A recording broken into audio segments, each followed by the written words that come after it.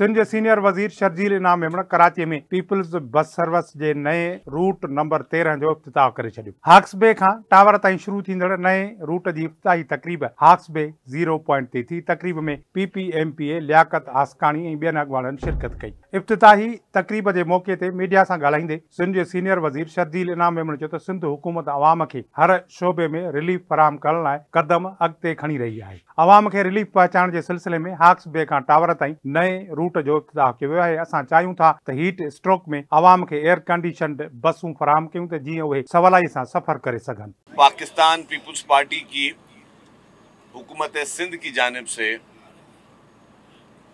हर महकमे में कोशिश की जा रही है कि अवाम को रिलीफ पहुँचाने के लिए इकदाम लिए जाएँ अवाम की ज़िंदगी आसान करने के लिए इकदाम किए जाएँ।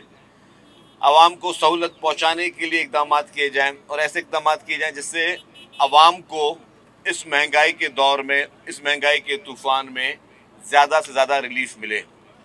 इसीलिए ही उसकी एक कड़ी यह है कि आज हम माड़ीपुर से लेकर टावर तक, माड़ीपुर से लेकर टावर तक जो है, एक नए बस रूट का आगाज़ करने जा रहे हैं।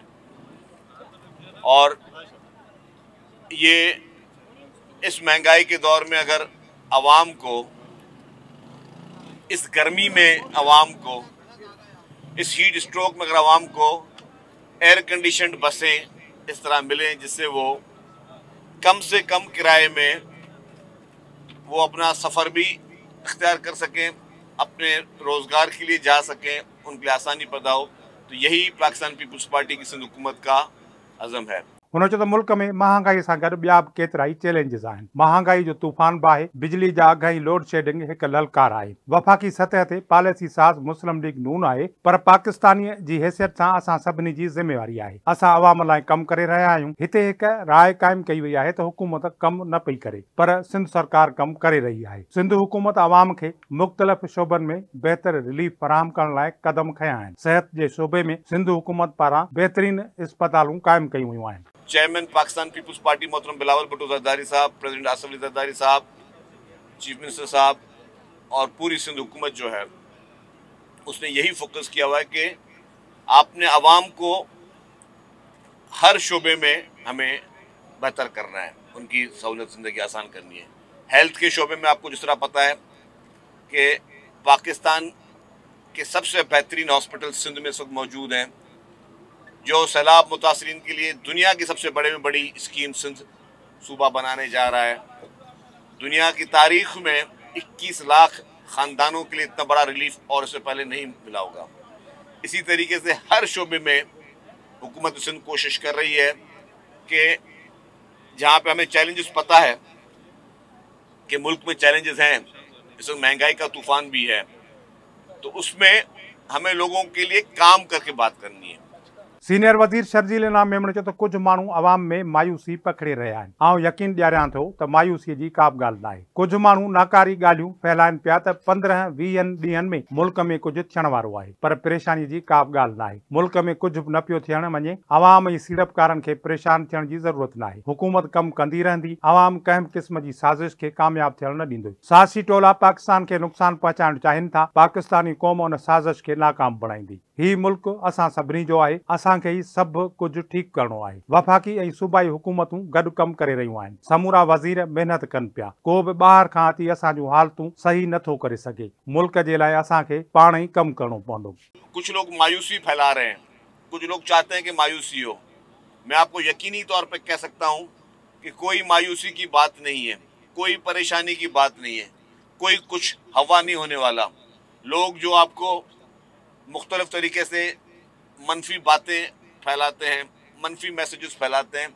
मैं आपको उम्मीद के साथ बात करता हूँ और बड़े वसू के साथ बात करता हूँ कि इन ताला ये सिस्टम भी चलेगा, हुकूमत भी चलेगी और कोई कुछ नहीं होने वाला इस मुल्क में। कोई खैर खास ख्याल में भी ना लगे कि हम कोई इंतज़ार फैला के, लोगों में मायूसी फैला के जो है, वो हम कोई अपना किसी मकसद में कामयाब होंगे। इन ताला पाकिस्तान तरक्की करेगा। यस कठिन हालात हैं, महँगाई है चैलेंजेस हैं। उन चैलेंजेस को मद्देनज़र रखते हुए हम सबने मेहनत करके जिस भी सेक्टर में हम लोगों को रिलीफ पहुँचा सके, हमने पहुंचाना है। ये हर एक की ज़िम्मेदारी है। ये वफाकी हुकूमत के जो मैंडेट है, वफाकी हुकूमत की ज़िम्मेदारी है कि वो हर सेक्टर में लोगों को रिलीफ पहुँचाए। जहाँ सूबाई हुकूमतों की ज़िम्मेदारी है, वो सूबाई हुकूमत अपना काम करे। यहाँ पर परसेप्शन बनाए जाते हैं कि जी नहीं, काम नहीं हो रहे। लोग जो है वो आराम से बैठे हुए हैं, कतन ऐसे नहीं है। हर फ़ील्ड में जो जो महकमा है, अपनी मेहनतों के साथ वो वजरा, वज़ीर अला पूरा सिंध हुकूमत कोशिश यही कर रही है, दिन रात आपको नज़र आ रहे हैं कि वो लोग अपने अपने फ़ील्ड में कोशिश करें, लोगों को रिलीफ पहुँचा सके। तो उसी की कड़ी है। हम सबको ये तैयार करना है कि मुल्क हमारा हमने ही ठीक करना है। कोई और आके बाहर से आके मुल्क ठीक नहीं करेगा। और हर एक ने अपना अपना रोल प्ले करना है कि हम किस तरह मुल्क में बेहतरी ला सकें। और जो भी मायूसी की बात कर रहे हैं कि जी दस पंद्रह दिन में ये हो जाएगा, दस पंद्रह दिन में वो हो जाएगा कोई कुछ नहीं होने वाला। मैं फिर आपके साथ यकीन साथ कहता हूँ कि मुल्क इंशाल्लाह पहले से बेहतर चलेगा।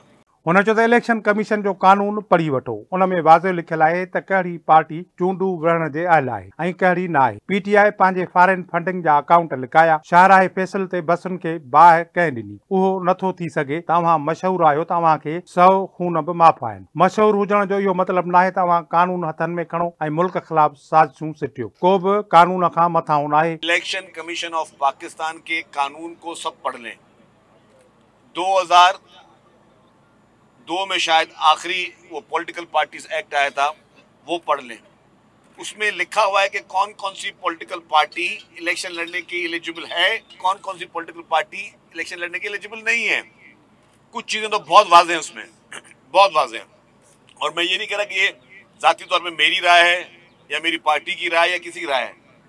हमें हमारे हमारे मुल्क में कानून पे चलना पड़ेगा। ये बात वाज है। ये नहीं हो सकता कि अगर कोई, मैं ये कहूँ कि जी, मैं पॉपुलर हूँ तो मुझे सौ खून माफ़ है। ये नहीं हो सकता। ये नहीं हो सकता कि मैं अगर ये कहूँ कि जी ले सपोज़ मेरे हल्के में, अगर मैं आज भी मैं कहता हूँ मेरे हल्के में कोई मुझसे इलेक्शन लड़े इन ताला कोई इलेक्शन नहीं जीत सकता। मैं अपने हल्के का अगर पॉपुलर एक एम हूँ। तो इसका मकसद नहीं है कि मैं वहाँ कानून तोड़ना शुरू कर दूँ। उसका मकसद नहीं है कि मैं वहाँ पर दफातर जलाना शुरू कर दूँ। उसका मकसद ये नहीं कि मैं अपने अपने हल्के के लोगों को बोलूँ कि जी, मुल्क के खिलाफ साजिश शुरू कर दो।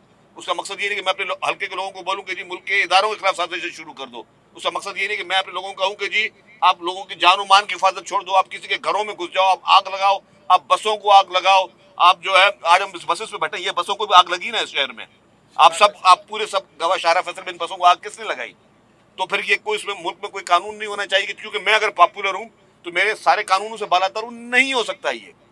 ये कहीं पे भी नहीं हो सकता कि कोई कानून से बालातर हो।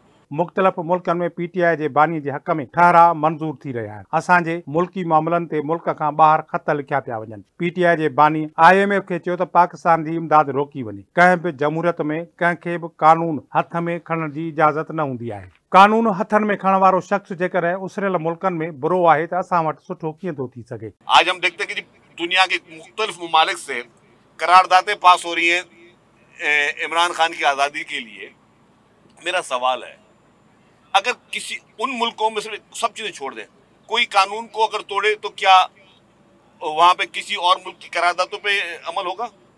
एक शख्स कानून को तोड़े, एक शख्स मुल्क को आग लगाए, मुल्क में इंतशार फैलाए, एक शख्स मुल्क को कोई कोशिश करे कि मुल्क की तबाही हो, एक शख्स आईएमएफ को फ़ोन करके कहे आईएमएफ को ये लोग लेटर्स लिखे और उनकी पूरे वजरा हुकूमतें लेटर लिखे कि पाकिस्तान की इमदाद बंद कर दी जाए।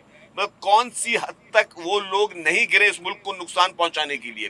तो जो शख्स उस हद तक इस मुल्क के लिए गिरे हैं तो क्या उसके लिए सिर्फ़ किसी मुल्क की करारदाद, जो कि पाकिस्तान का अंदरूनी मामला है, उस पर आके हम कहें कि जिन्हें किसी शख्स को छोड़ दिया जाए, या उन्हीं, उसी ममालिक में कैपिटल हिल का जो वाक्य हुआ था, कैपिटल हिल में दस दस पंद्रह पंद्रह साल लोगों को सजाएँ मिली तो क्या हम ये कहें कि हम अपने मुल्क में करारदाद पेश करके दी वो वहाँ का उनका आईनी जमहूरी हक था कि जी वहाँ पे लोगों ने जो है वो पार्लियामेंट में घुसे या वहाँ लोगों पे आगे लगाई तो जी उनको छोड़ दिया जाए। ये डेमोक्रेटिक राइट है। Democratic right, freedom of speech का मकसद कहीं पे भी कानून हाथ में लेना नहीं होता। दुनिया, पूरे दुनिया के किसी भी, चाहे कोई बड़ा तरक्की